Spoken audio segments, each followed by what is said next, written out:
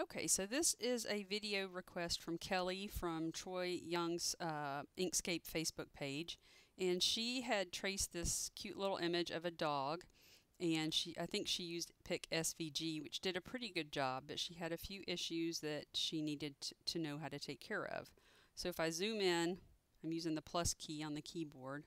You can see that here in the tongue, uh, there's some paths that didn't get closed and also down here in the collar.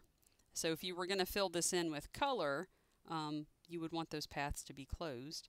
And then also this trace, you can see it has a lot of jagged edges and we can smooth those out using Inkscape also and make a couple other little adjustments to make it cut better. So plus again to zoom in. The first thing I'm going to do is I'm going to grab the Bezier tool and I'm going to click here, click and drag to curve it, and then press enter. And that made a line. You can't see it because I've got my fill color set to nothing and I've got my stroke set to, to no color. So if I hold down the shift key and click on this black box here, that fills the stroke. And you still can't see it because my stroke is too thin. So I'm going to press Control Shift F to bring up the fill box. And you can see my stroke style is set to zero. So we're going to change that to 0.5. No, way too big. 0.05. That looks pretty good. Okay, it's not perfect, but we're going to go ahead and do the next step and then we'll fix it. So right now you can see I'm on the, if I click on the node tool, you can see that this just has two nodes. It's a stroke. It's not a path. Um, to do what we want to do next, we need to change this to a path. So we go up to path, stroke to path. Now you can see it changed it. Um, it's a path and it's got nodes all around the outside of it. Okay, so I'm going to click on the spacebar to get back to the selector tool.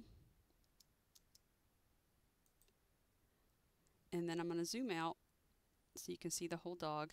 Then I'm going to hold down the shift key and click on the rest of the dog. So I've got both that little line selected and the dog. And I'm going to press Control Shift plus, which is the same as Path Union, to join that little line that we just drew to the rest of the dog. So if I zoom back in, now you can see if I click right there, that's not an object anymore. It's joined to the rest. His tongue look, looks kind of uneven and jagged here, so what we can do is we can select some of these nodes and just say delete and move it around a little and we'll fix some of this jaggedness um, in the next step as well. So now let's just go ahead and fill in some of these other gaps. This one here.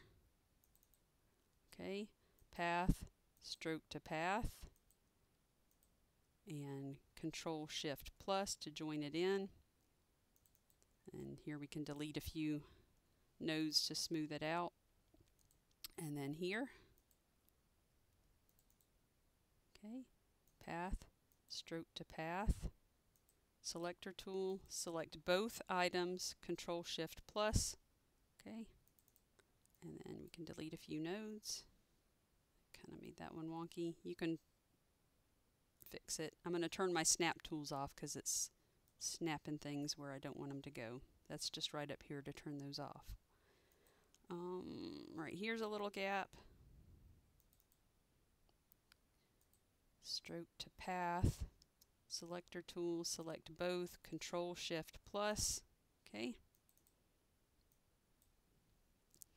Um, here's another thing that there's no need to have this little open circle here, so we can just select those and delete.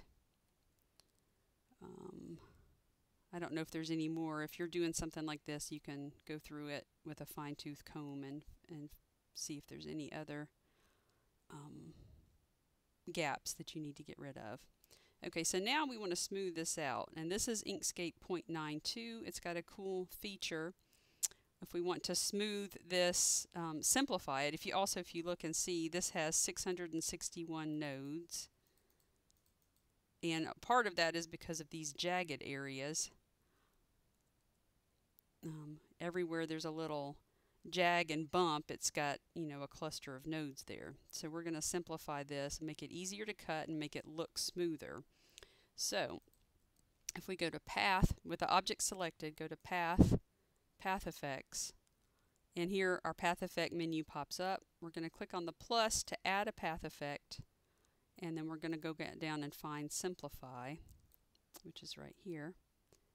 Add simplify. Okay, so it added simplify to our path effects. And you can see there's some um, parameters you can change here. It has simplified it now at 0.002 and it looks a little weird. I think it's too simplified, so but we can change this roughly threshold. Uh, the smaller you make it, the less it simplifies. So that has got it simplified. If I change it to 0.001, it's simplified it to 293 nodes. Okay go a little further, 0.0009, enter, and that's got it down to 307 nodes, so it's a little less simplified, and I think that looks pretty good. So now if you'll notice I click on the node tool and zoom in, there's all these weird blue um, circles and squares and stuff, and that's because this simplify is not has not been applied to the image yet. That was just for you to test it out. It's sort of an overlay. To get that applied to the image, we just go to Path, Object to Path, and that applies our simplification to the path that we had.